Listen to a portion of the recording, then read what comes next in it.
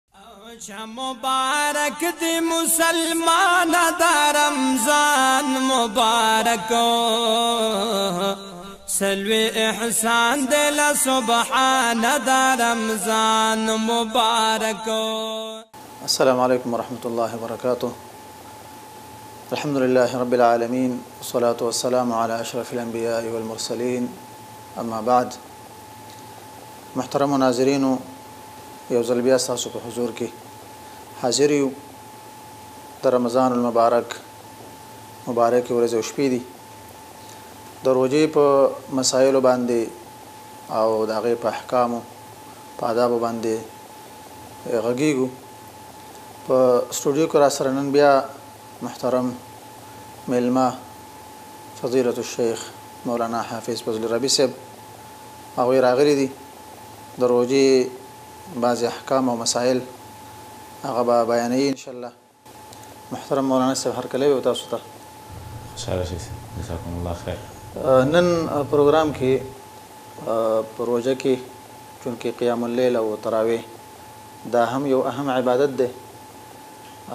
د دې په باره کې چې قیام اللیل او تراویح دا په کوم طریقه باندې کول پکار دي او د دې څه اهمیت دی او څه اجر. الحمد لله والصلاة والسلام علی رسول الله اما بعد د روژې میاشت د دې که ورځ ده او که شپه ده خو الله جل جلاله په دې مبارکه میاشت کې زمونږ دپاره داسې عبادات لګولي دي چې هغه الله ته د تقرب وسایل دي که د رمضان په ورځ کې انسان روژه نیسي بهترین عبادت څوک چې د رمضان روژه ونیسي د ایمان په وجه باندې چې د مؤمن دی او دا ایمان د د د دې دافعي دا دې ته رابلي او دې ته راکش کوي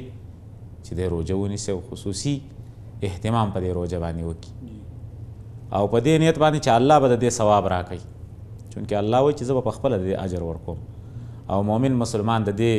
سوچ وکړي چې را الله ماته په دې باندې اجر راکړي دې مسلمان ته به ټول پخواني ګناهونه الله تعالی معاف کړي دغه رقم دا خو د ورځې روژه نیول شو د شپې الله ته یو بهترین عبادت په همدې میاشت کې الله جل جلاله زمونږ د پاره مقرر کړی او نبی علیه الصلاۃ والسلام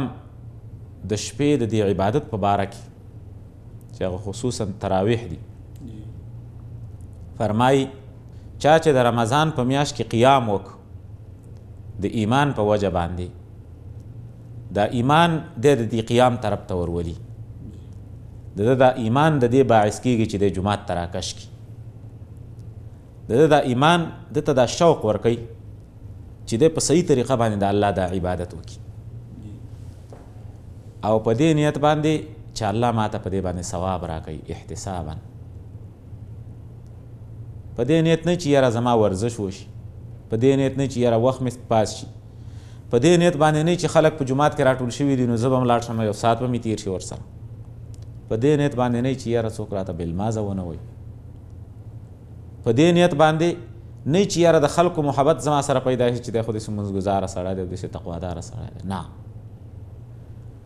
زما رب ما ییني او هغه رب په دې باندې ماته ثوابونه او اجرونه راکوي په دې نیت باندې او په دې تمه او توقع او تمنا باندې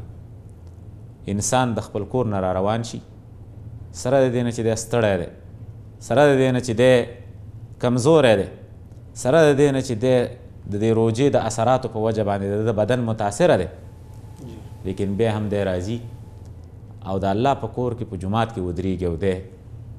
په قیام اللیل او تراویح کې برخه اخلي الله جل جلاله به دې انسان ته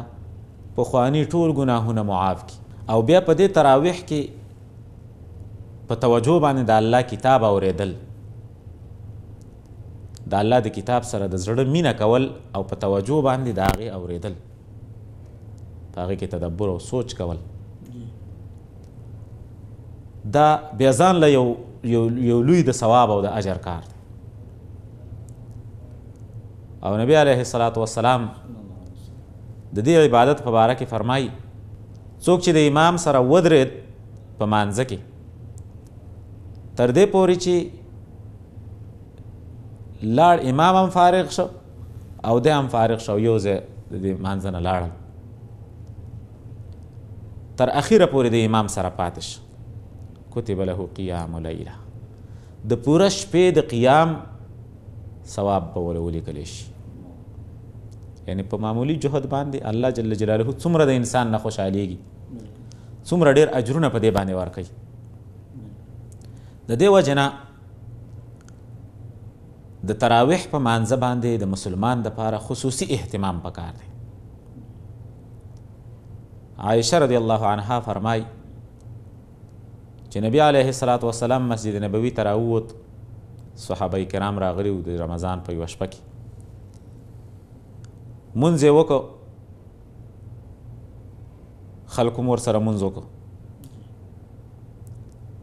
په دویمه شپه باندې ډیر خلک راغلي وو جومات ته نبی علیه السلام ورمونځ وکړو په درېيمه شپه باندې بيا هم خلک راله په څلورمه باندې بيا هم خلک راله خو نبي عليه الصلاة والسلام راونه ووت بيا د صحابه ته مخاطب شه چې تاسو راغلي وي مونږ هم وکړه په اوله او په دویمه ورځ باندې په درېیمه او څلورمه زه راونه وتلم د دې وجې نه چې زما دا یره وه چې هسې نه چې دا قیام اللیل په تاسې باندې فرض نشي قیام اللیل یا تراویح کول فرض ندی په مسلمان لیکن دا دسی یو موسم دی چې دا یو سیزن دی د ګټې لپاره د فائدې لپاره یعنی مسلمان باید د دې عظیم اجر نه ځان محروم نه کی په خپل وخت باندې دباو راوړي په خپل کاروبار باندې دباو راوړي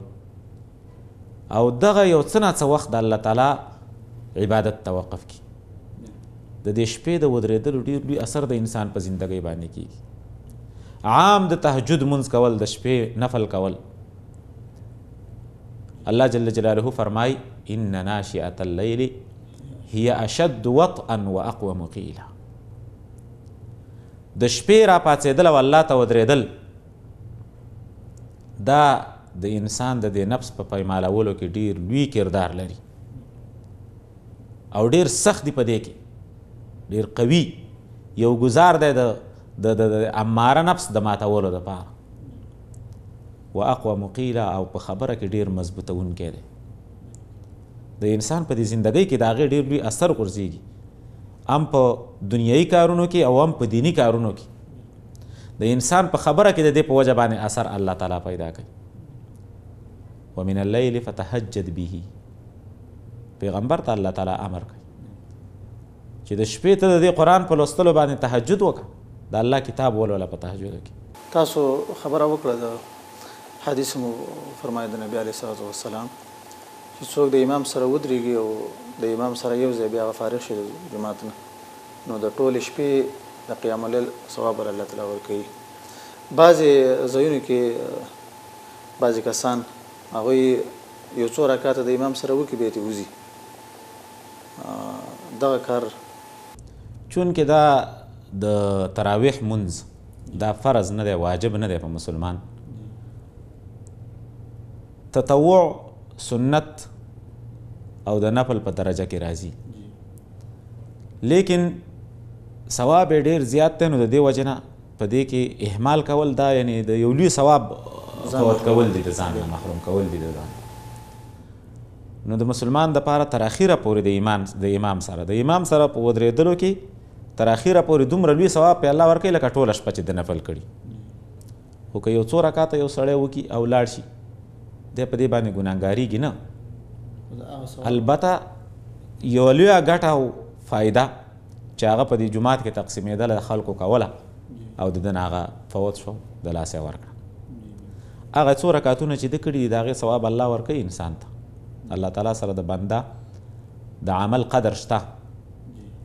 لیکن هغه لوی ثواب چې او لوی اجر چې هغه د دې عبادت په وجه باندې الله ورکي هغه نه دی محروم پاتې شي بیا په دې کې چې کومې دعاګانې کیږي تر اخره پورې په ویترو کې په دعای قنوت نو هغه دعاګانې د انسان د پاره ډیر لوی ذخیره ده لوی سرمایه ده په کار ده چې په هغه کې انسان تر اخره پورې شریک پاتې شي بعض خلک هغوی په رمضان کې فقط د عمل زیادت ته ګوري که تلاوت کوي هم داسې زر زر تلاوت کوي چې په دې کوشش کوي چې زه قرآن زر زر ختم کړم د هغې د حروفو خیال نه ساتي دغه شان که مونځ هم یي یا تراویح کوي یا نور عام نفلونه کوي نو په جلتۍ جلتۍ باندې د هغې قرائت او د هغې د تعدیل د ارکانو د هغې هم څه خیال نه ساتي فقط دغه کوشش کوي چې زه که نن مي لس رکعته وکړه پکار ده چي سبا شل وکم بل سبا دېرش وکم نو ایا دسي مونځ او دسي عبادت چي هغه بلکل په جلتۍ باندي په هغه کي د خشوع او د خضوع څخه خیال ونه ساتل شي ددې به څه ثواب درته ملاویږي؟ وروره په عبادت کي اقتصاد درمینروي تر هغه اندازې پوري چي انسان د هغه رغبت د عبادت لپاره يي او توجه د زړه سره يې وکړي. په شوق باندې یې وکړي نو د هغې نه یو خوند او لذت د انسان په زړه کې راشي داسې عبادت چې ته فقط یو عادت پوره کول غواړي او ځان ته تر یو معین وخته پورې خلاصول غواړي نو د دې به څه کم روحانیت د انسان په زړه کې راشي او کم تدبر به دی په هغه تلاوت کې وکړي چې په دې کې لوستلی کېږي اصلي هدف خدا دی چې تقوا د دې په وجه په انسان کې راشي او دا عبادت الله جل جلاله په منګه باندې مقرر کړی دی نو که بل فرض یو انسان ته یو کار اواله شي چې دا کار ته وکاو هغه په دې طریقه باندې دا کار وکړي چې اسې ځان ته اخلاص کی نو دا غي نتیجه د دې په ځای باندې چې دا غي انسان نه خوشحالي وشي بلکې الټا هغه د دې په وجه باندې د عمل ته په سپک کتلو باندې مؤاخذه کیږي په کار دا ده چې د دې عمل د مانځه خصوصا دا درنوالی زمونږ په زړونو کې یي که ټیم در سره نه وخت در سره نه یا ستړی نو په هغه اندازه باندې وکړه چې څو پورې ستا وس رسیږي د زړه رغبت دې کېږي ولو که ډېر کم رکاتونه ته وکړي خو دا چې په داسې طریقه باندې وکړي چې نه په تلاوت باندې پوه شي نه په رکوع باندې پوه شي نه په سجده باندې پوه شي حدیث پاک کې راځي عمر رضی الله عنه ابی ابن کعب رضی الله عنه او تمیم داری رضی الله عنهما ته امر یې وکړ چې تاسو د خلکو د پاره تراویح قائم کړئ په مسجد نبوي کې هغه دواړو د قران کریم لوستل دواړه قاریانو د قران کریم بهترین قرآن کریم به لوسته نو راوی د حدیث وای چې منګه به دومره ولاړو دیو ته چې حتی دومره بستړي شو چې منګه په امساګانو باندې تکیه ولګوله په دې مانځ کې نو اوس ته وایا چې په یو ملټ کې یو رکعت سړی ختمي نو دی به څه د قرآن کریم تلاوت په دې کې واوري څه به په دې کې رکوع وکړي، څه به په دې کې سجده وکړي، په یو حدیث کې د نقر کنقر الغراب، کنقر الدیک، د چرګ د ټونګو په رقم باندې ټونګې وهل یا د کارغه د ټونګو په رقم باندې ټونګې وهل د دین نبی علیه الصلاۃ والسلام منع کړی دا چې په مانځ کې دا عمل تاسو مکوئ نو هغه خلک چې دغه رقم باندې تراوی کوي د دې د عمل ته که وکتلی شي هماغه د چرګانو ټونګې او هماغه د کارغانو ټونګې دي په دې باندې د دې په ځای باندې چې ثواب انسان ته ملاو شي بلکې د الله تعالی د مواخذې سبب سړی ګرځي مونځ خو د دې دپاره دی چې د انسان په زړه کې د هغې نه یو خوند او لذت حاصل شي تقوا او پرهیزګارۍ ته پې انسان ورسیږي د الله رضا ته پې انسان ورسیږي ځکه د رب العالمین په حضور کې سړی ودرېږي او ته چې د الله په حضور کې ودرېږې او دغسې چل ول وکې ځان تې خلاص کې سره د دې نه چې ته خو چا مجبوره کړی نه چې ته دا وکه خامخا خو د ثواب د پاره کوي نو چې ثواب د پاره کوي نو خو صحیح وکړه ځان ته بیا مخلاصه نو زمونږ په معاشره کې مصیبت دا ده چې د رکعتونو د زیاتوالي د د حرس په خاطر باندې دی هغه کیفیت د مانځه خراب کی کیفیت د مانځه ختم کی ډیر رکعتونه که کینو په صحیح طریقه باندې وکړه په دې باندې الله ستانه رضا کیږي او خوشحاليږي او په دې باندې تاته ثوابونه ملاويږي په دې باندې تاته د ټول عمر ګناهونه معاف کیږي په دې نیت او په دې احساس باندې ته د الله په حضور کې ودرېږه ولو که یو څو منټه ستا زیات ولګېږي په دې باندې خو ډېره لویه ګټه کې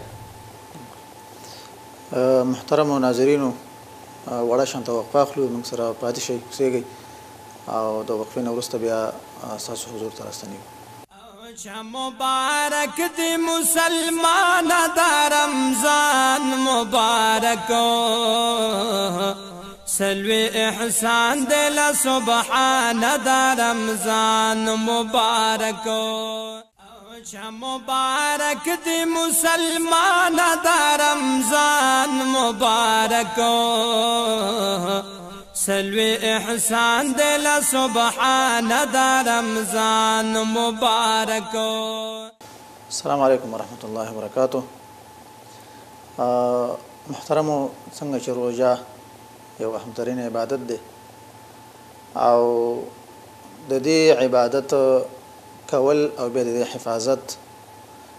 دا هم د هر مسلمان فرض دي، ځکه چې هر عمل وشي او د هغې حفاظت په صحیح طریقه باندې ونه شي نو هغه الله تعالی ته نه قبلیږي. محترم مولانا صاحب هغه اعمال چې په هغې باندې سړی کولی شي چې د خپلې روژې حفاظت وکړي. کاغه لګ بیان کړي بسم الله الرحمن الرحیم محترم قاری صاحب دا یو اهمه مسله ده تاسو چې دا کومه خبره راوسپړله عبادت کول دا په یو صورت باندې یو اړخ لري لیکن د دې عبادت حفاظت کول او د دې ساتنه کول دا بیا بل یو اهم کار دی مسلمان وظیفه ده د دې لپاره چې انسان کوشش وکړي محنت وکړي ځان ستړی کړي په ځان سخته تیره کړي لیکن په آخر کې نتیجه د ده ښه راونه وځي ځکه چې اصلي خو نتیجه ده او نتیجه په دې باندې ښه راوځي چې ته د دې خپل عبادت حفاظت وکړي ساتنه وکړي هغه څه چې دې ته نقصان پېښوي هغه څه چې په دې کې کمی راولي د دې هغه کمال ختموي هغه جمال او ښایست یې ختموي د هغه کارونو نه انسان ځان وساتي متوجه شي شیطان همیشه دا کوشش کوي چې د انسان په عبادت کې یو خلل واقع کی که دی په مانځه باندې ودرېږي شیطان ورته په زړه کې وسوسې اچوي انما هو اختلاس يختلسه الشيطان من صلاة العبد اخوا دخوا نظر اچول په مانځ کې قسمه قسم سوچونه او فکرونه کول دا یعنی د شیطان دا کوشش چې انسان مانځنه غافل ادا د عبادت هغه جوهر لاس ترانه وړي دغه رقم پروژه کې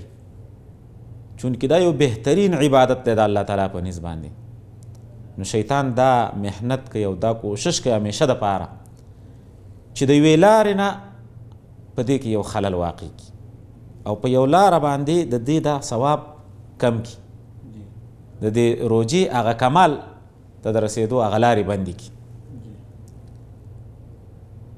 خصوصا خصوصا په روژه کې د خپلې ژبې حفاظت کول د دې ژبې په وجه باندې د روژې ثواب متاثره کیږي نبی علیه الصلاۃ والسلام فرمایي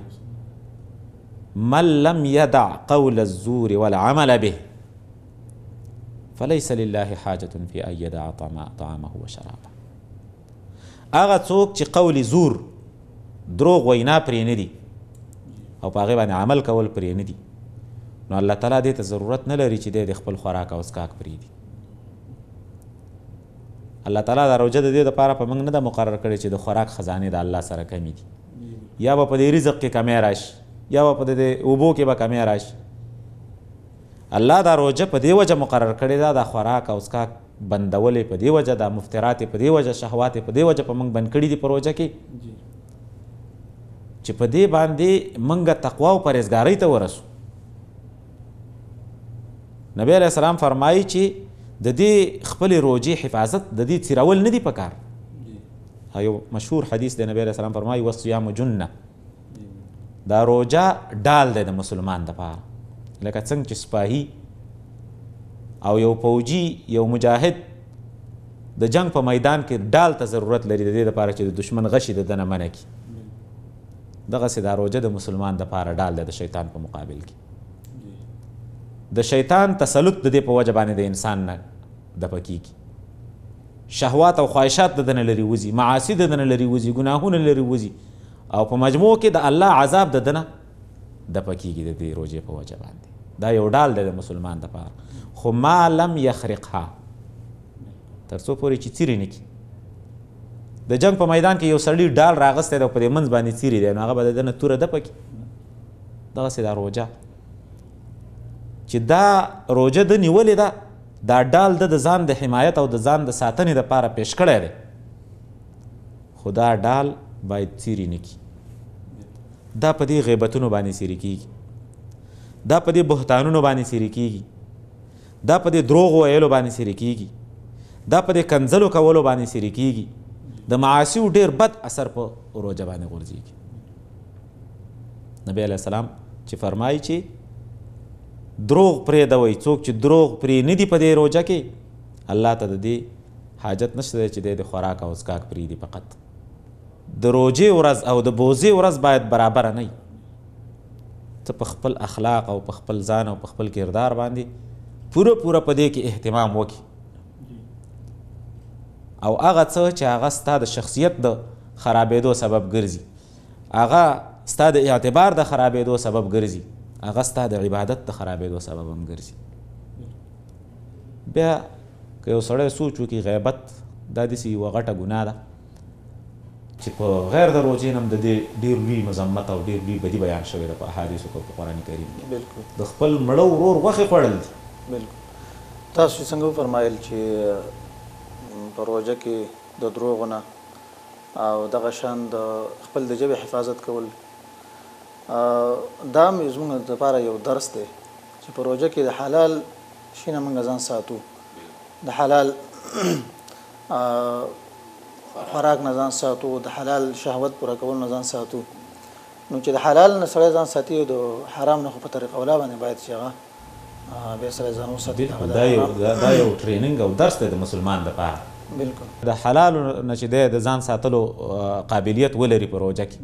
نو دا قابلیت دې خامخا په ده کې وي چې دی د حرامو نه ځان وساتي په روژه کې. حرام دغه غیبت دی. حرام دغه بهتان لګول دي په مسلمان باندې. دغه کنځلې کول دي، ردې بدې ویل دي. زمونږ او ستاسې مجلسونه خصوصاً زمونږ په معاشره کې په روژه کې هغه په غیبتونو باندې آبادي په دیرو کې غیبتونه په کورونو کې غیبتونه په بازار کې غیبتونه یعنی خپل وخت په دې باندې لنډوي چې د بل مسلمان عزت هغه خراب کی د بل مسلمان عزت واخلي او په دې باندې الله ډیر زیات ناراضه کیږي د انسان اے هغه کسانو هغه خلکو اے هغه ټولګیا